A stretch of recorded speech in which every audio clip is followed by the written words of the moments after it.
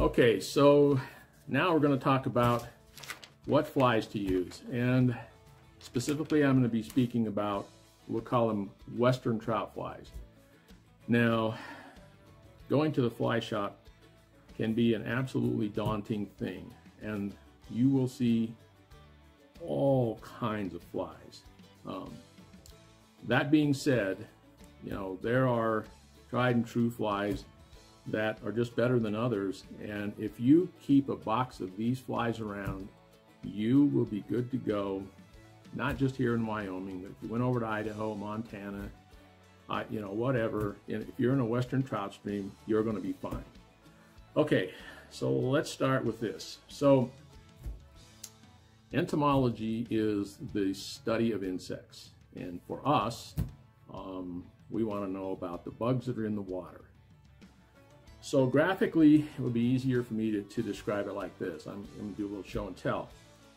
So predominantly we have mayflies, we have caddisflies, we have stoneflies. And then I'm going to throw in midges. Um, now, a midge is a little is a little worm-like critter. Um, they're very small on an 18, 20 size hook.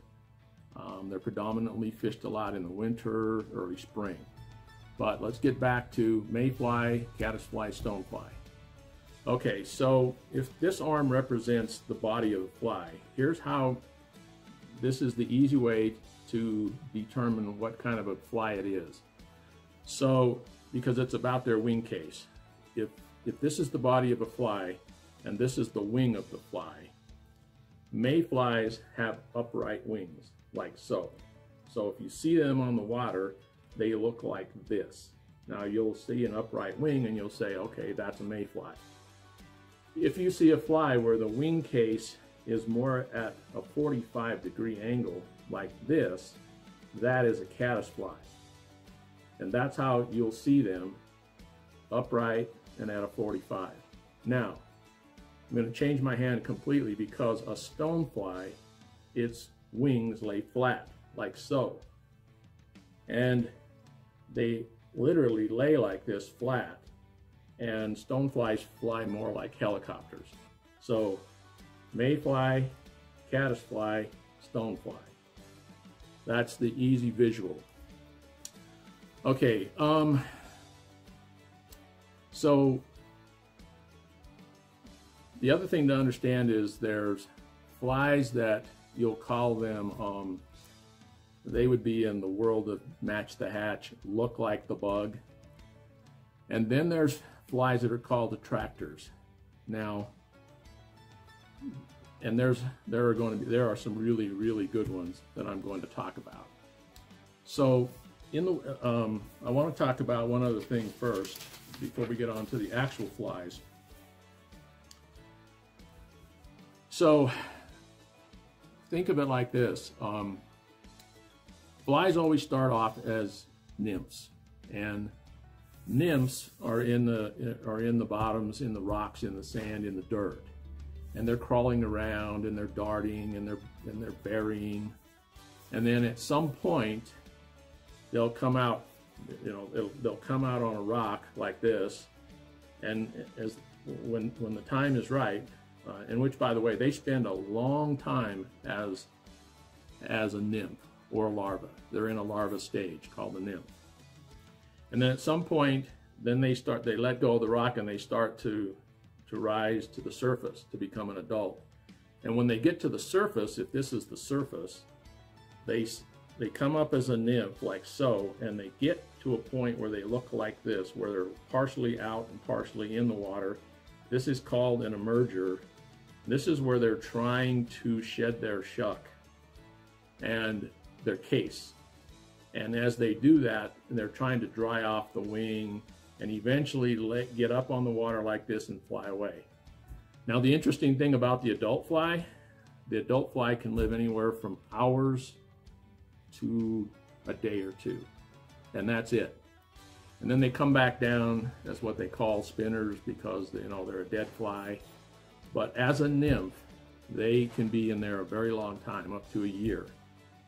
The reason that I'm pointing this out while we all love dry fly fishing, and and I'm one I'm one of them. Um, I I love hopper season as one of my favorites. Um, that being said, this is important for you to know. Um, now, depending on whose books or whatever you're reading, it can be as high as 90, but I'm going to say 80 because that's, you know, generally, again, I'm going to call that the um, industry standard if you want to say it that way. So, fish feed 80% of the time and they get 80% of their diet subsurface. Now, the reason that I'm pointing that out is because if there's not a really good hatch going on or you don't have an attractor that's drawing a fish up from the bottom, there's not a big reason for a fish to be drawn up to the surface when they can sit here and do this. What happens is, and, and remember, the slowest part of the current is against the bottom. So a fish, um, if that's the rock, and, and the first thing that I do when I step into a, when I step into a river, the first thing I do is I reach down, I grab a rock, I pick it up, turn it upside down, and you will see all of the bugs walking around, crawling around on it. And you can look at them, and if you're educated enough to know the difference between a mayfly nymph or a caddis nymph or a stonefly nymph, you can say to yourself, oh, okay, so it's this nymph and it's about this size. Put the rock back, and gear up and go. Now, how this is going to work um, is the nymph is going to come out from the bottom of the rock and they're going to get here. Now the fish are laying here like so. And the nymphs start to come up and they snag them. Nymph comes up, they snag them. Nymph comes up, they snag them. They do this 80% of the time and that's how they get 80% of their diet. Now, as they start to emerge, of the emergers that finally get to the surface, only 50% of those emergers ever become adults. Because again, you know, they're taking the emergers. Now, I'm, I'm saying this because learning how to fish nymphs, learning how to nymph fish is very, very important. Because, you know, you could be out there a day when there's nothing happening on the surface. There's always something happening subsurface. It's very important to learn about nymph fishing. And truly, as we talk through this, there are three nymphs. Three nymphs. If those are the nymphs you had, you will be golden. Okay, so here I have an assortment of flies out. So we'll we'll do this as mayfly, caddisfly, stonefly. Um, then we have to think about streamers. We have our nymphs, and I want to talk I want to talk about terrestrials as well. Uh, a couple of things I want to, I also want to point out is that is that every fly that you see here is available to purchase in a fly shop, online, however you want to do it. Uh, I, I, said tying flies because um, I do enjoy tying flies. I don't, um, I'm not going to spend the time to do it on a lot of flies. Um, flies can be expensive, and but so can fly tying. But yes, they're all available um, in, in a store. And another question that is always that always comes up is, well, how often should I change a fly? You know, that's an interesting question because I have seen some flies that are so beat up that you I wouldn't fish them. I fished with a guy one time. Uh, what the? I'm trying to think of what fly it was. I think it was some variation of of, of one of these um, stimulators and he'd, he'd had so many strikes on it that it was the thread was coming unraveled and it was just hanging here and yet for some reason fish were hitting it. Now for me i you know one of the things you're going to want to do is check the hook. If you get a lot of snags or something like with a nymph you know if you start losing the the um, um, the sharpness you can buy a sharp you can carry around a hook sharpener and you can you can resharpen them. So mostly it's just how how beat up does the fly get? And if fish are not reacting to it the way they were, you know, several casts ago, um, then you might want to go ahead and, um, and change it out. The other thing, as I was talking, and I said size, uh, once again, back when we were talking about tippet and leader, you know, um, uh, a, a small, like that fly right there, that's probably 14 or a 16 versus this. I'm going to use stronger leader to cast this fly than I am that fly. And I'm going to use stronger leader to cast this than that. And so when you talk about flies and sizes, they um, not only do you want to have a variety of that, but keep in mind that's why you want to have a variety of tippets and leaders so that you can interchange as necessary.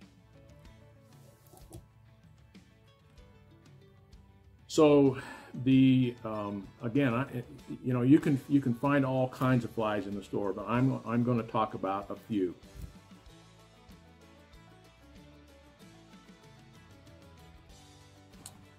I should also stop at this point and uh, and and talk about size and color because they're both very important, um, especially if you are trying to match the hatch.